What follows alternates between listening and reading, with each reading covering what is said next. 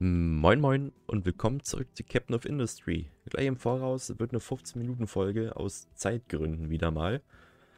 Aber 15 Minuten sind immer noch tausendmal besser als, ja, keine Folge. Ist so. Ist so. Das heißt, wir haben weniger Zeit, große Probleme zu lösen. Aber das sollte gar nicht schlimm sein, weil ich sehr zuversichtlich bin, dass wir das hinbekommen werden. So, schauen wir uns das mal an.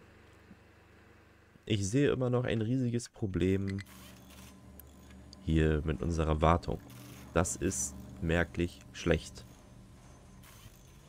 Um das eventuell ein wenig fördern zu können, müssen wir einfach auf Konstruktion 3 gehen. Oh, musste gerade mal kurz. Ach, mein Gott, heute ist sowieso ein komischer Tag. Ja, und wie können wir dieses Problem lösen? Oh, da gibt eine ganz einfache Lösung für. Wir brauchen Stahl. Und das recht zügig. So, wir werden das hier mal drüben kopieren. Ja, warum recht zügig? Ganz einfach. Äh, ich ich habe es bestimmt schon tausendmal erzählt und werde es auch noch tausend weitere Male erzählen. Wir brauchen das einfach Stahl für Konstruktion 3. Und Stahl, die Stahlproduktion ist da ein bisschen komplizierter. Also ihr habt einen Step mehr einfach nur, beziehungsweise eine neue Ressource, die ihr mit einbinden müsst. Ich muss ich mal kurz gucken. Genau, oben war Eisenerz, unten die Kohle. So. So, jetzt müssen wir das noch weiterziehen. Genau, es muss eine weitere Ressource eingebunden werden in diesen Kreislauf. Eine weitere neue. Ich würde es euch gerne sagen. Wenn der Kollege hier jetzt endlich mal sagen würde, alles klar, ich baue freiwillig. So. Jetzt haben wir es aber. Warte mal, ich baue mal erstmal fertig und dann fange ich an zu erzählen. Ne? Es ist besser. So. Das haben wir. Wir werden sofort dafür sorgen, dass der Schornstein angeklemmt wird. Zack. Zack. So muss das sein. Das mit der Gussrinne, das können wir alles hier bauen. So, neue Ressource. Das wäre dann der Luftzerleger. Den kennen wir ja schon, den haben wir hier unten gebaut. Wo ist er? Wo ist er? Wo ist er? Hier. Genau. Den brauchen wir jetzt hier für die Stahlverarbeitung ebenfalls. Und ich bastel den einfach genau hier neben. Ja, da sind wir... Da sind wir ganz straight und machen da gar keine großen... Kein großes Heckmeck draus. Wasser brauchen wir auch. Was ist mit euch denn? Wie, ihr kommt da nicht hin? Was ist denn mit euch schon wieder nicht richtig? Hier hin. Ihr kommt hier hinten nicht hin. Warum? Wollt ihr mich so ein bisschen, bisschen verarschen? Kollegen? Ich setze euch mal zurück. So. Ja, genau. So. Dies, das, jenes. Ganz easy Sache. Dann brauchen wir die speziell dafür vorgesehene ja, Gießvorrichtung, nenne ich es mal. Hier haben wir ja den Sauerstoff-Blaskonverter. Das ist die spezielle Gießvorrichtung, die ihr für Stahl braucht. Ja, um das dann natürlich auf eine dementsprechende Temperatur zu kriegen. So. Will ich meinen, ist es. Das brauchen wir natürlich ganze zweimal. Muss ich ja lohnen, wisst ihr ja. So, und da sieht man ja schon, da haben wir den O2-Eingang. So, den führen wir unter der Schlacke durch. Wenn das Spiel natürlich mitmacht. Manchmal ist es ja ein bisschen zickig, ihr seht. Da will es nicht so, wie es soll. Zack. Ob es nur zu 100% nötig ist, weiß ich nicht. Aber ich nehme trotzdem lieber die größeren Leitungen. Gefällt mir einfach besser. Was soll ich sagen? Da kann ich mich einfach nicht rausreden. Es gefällt mir einfach besser. Dann nehme ich das auch. So. Jetzt haben wir den geschmolzenen Stahl. Und jetzt wird dieser ganz normal gegossen. Wie wir das kennen. Aber auch in einer dafür speziell äh, verbesserten Vorrichtung. Und zwar, das ist, das, das ist die gekühlte Gießerei. Ne? Wisst ihr ja, um Stahl zu härten, muss es schnellstmöglich, also so wie ich das kenne und mal gehört habe, da muss Stahl schnellstmöglich abkühlen. Je schneller es abkühlt, desto bessere Härte kann es vorweisen.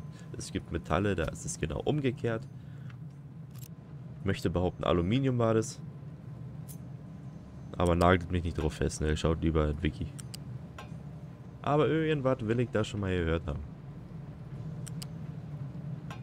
Zack. Zack. Wunderbar. So sieht es aus. Ja, das soll unsere Stahlverarbeitung sein. Ist natürlich ein bisschen klein, ja, muss man zugeben. Ähm, da wir ja hier einem aus 16 Einheiten geschmolzenen Eisen achtmal geschmolzene Stahl machen, also das wird ja dann quasi nochmal komprimiert, ist schon wild. Ja, muss man sich vor Augen halten, dass es dann ein bisschen weniger wird.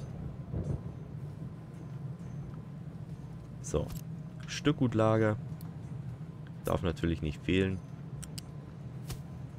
Und das machen wir ganz traditionell. Zack. Ganz einfach.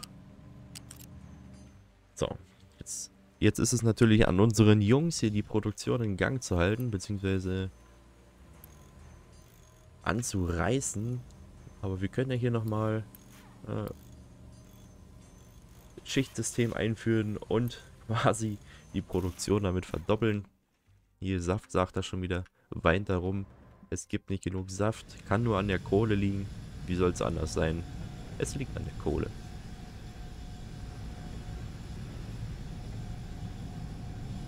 Das ist nicht optimal, gerade wenn man das auf...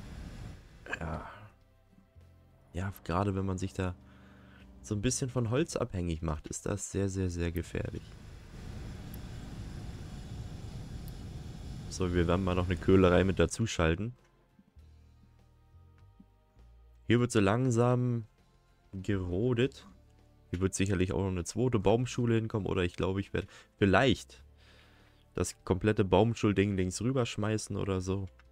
Weiß ich noch nicht. Bin mir da noch nicht ganz sicher.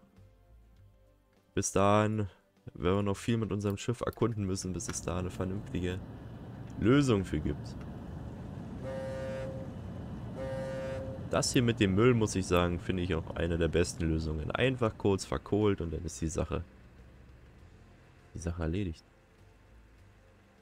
Ne, wenn du, mal, wenn du natürlich richtig super smart bist, dann wirst du die Abfallanlage einfach nach unten bauen.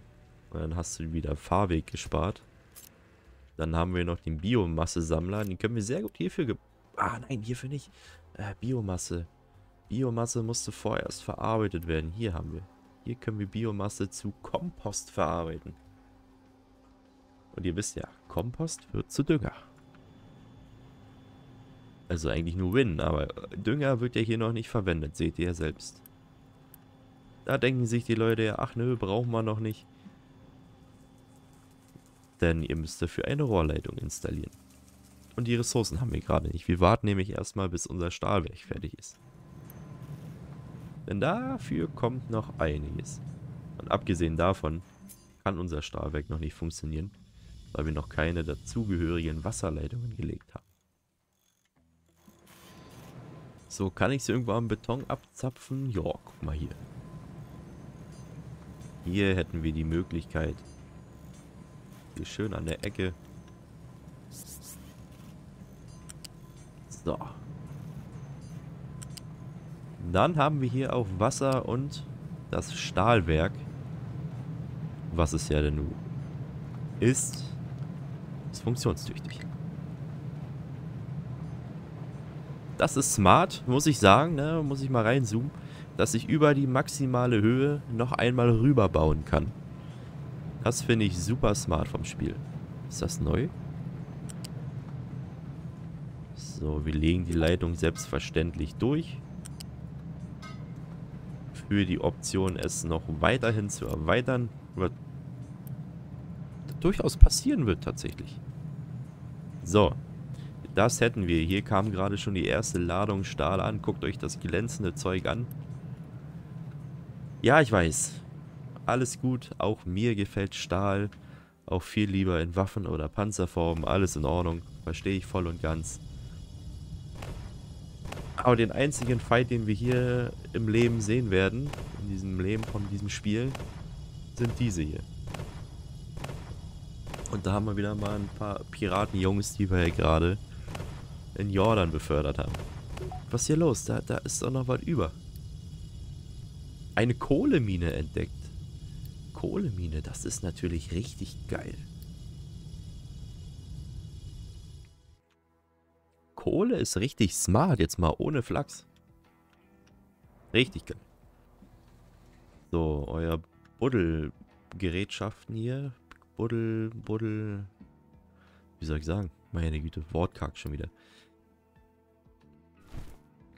Die Art und Weise, dass diese... Ach, scheiß drauf. Wir brauchen einfach mehr Kohle, baut mehr ab. So, meine Güte. Immer dieses Wortgewähle, ne? Scheißegal. Mach Kohle. So, Biomasse-Sammler können wir nicht bauen, habe ich gesagt. Brauchen wir rote Konstruktionsteile für. Und die haben wir nicht. Wir kommen gerade so auf gelbe. Und da wäre jetzt meine Idee, lagern wir das schon aus? Das ist mir hier schon ein bisschen zu voll.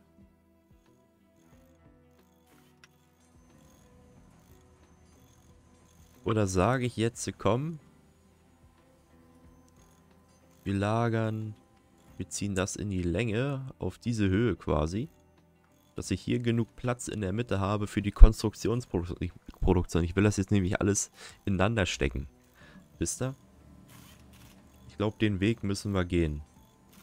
Und es ist wichtig. Es ist so wahnsinnig wichtig. Gerade auch mit der Wartung. Äh, kopiert vorher und reißt dann ab. Nicht umgekehrt. Nicht erst abreißen, und dann anfangen zu bauen, das funktioniert nicht. Das geht völlig in die Buchse. Sage ich euch, weil ich den Fehler sehr oft gemacht habe. Nicht nur mit Wartung, auch mit Wasser, auch mit Treibstoff. Macht nicht diesen Fehler. Ich kann einfach nur appellieren, ne? Macht's nicht. Seid da vorsichtig. So, damit das kopiert, das wird runtergezogen, wie gesagt. Das ist gut, dass wir noch die E-Teile haben. Damit können wir auch die zweite Stufe völlig automatisieren. Und Stahl kann sehr gerne rangeschleppt werden von den Lastern. Das kriegen wir hin. So, ihr habt genug. Kommt ihr hinterher? Was fehlt euch? Kann ich euch irgendwas Jute tun? Ah, verdammt, ich habe was vergessen. Eieiei, da müsst ihr natürlich auch auf, drauf aufpassen. Ihr müsst das N2 natürlich auch quasi entsorgen. Ne? Ist ja, Schornstein dient ja der Entsorgung. So, boom. So, und jetzt läuft das weiter. Man muss darauf achten. Habe ich jetzt, habe ich jetzt verpennt. So. In 20er Schritten entsorgt, wollte gerade sagen. Und nein, ist hier gerade alles voll oder was? Wild. Nanu, mach schon.